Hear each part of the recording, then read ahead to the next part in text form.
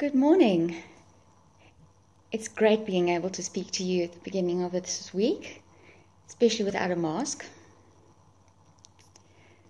So, this week we'll be looking at God's permanent presence and our trust in Him. I'm sure you all remember Daniel and the lion's den from Sunday school. I still remember the colouring pictures of a man standing next to lions coloured in yellow because there wasn't any other colour. But did we ever understand more than just the fact that God made sure the lions did not eat Daniel? I came across a Sunday school song which shows how we understood it.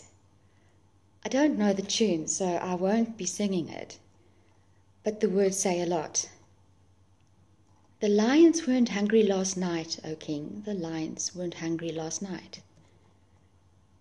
Praise be to God that we know more than that. God was with Daniel before the den, during the den episode, and after the den. None of this happened by chance.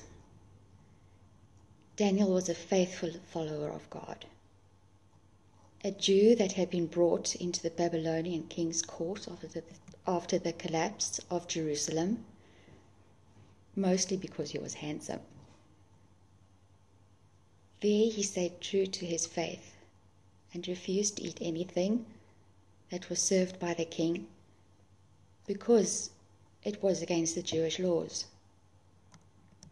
He continued to pray to God. He trusted that God would look after him and protect him. He fully trusted God.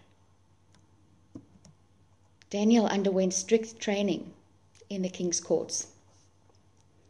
With his three friends, Shadrach, Meshach, and Abednego, they did well and they were at the top of their class.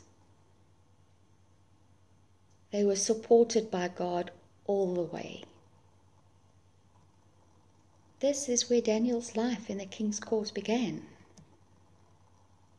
And so today we need to understand that if we were to look at Daniel's life in the Babylonian king's court as being normal, everyday life, where he got up for breakfast, as usual, went to work, as usual, did his shopping, as usual, and when asked how everything is, he answered with a very normal, it's fine. Then we need to take note that in this everyday, normal life, just how much Daniel wanted to have God be a part of his life, and just how much God wanted to be a part of that side of Daniel's life.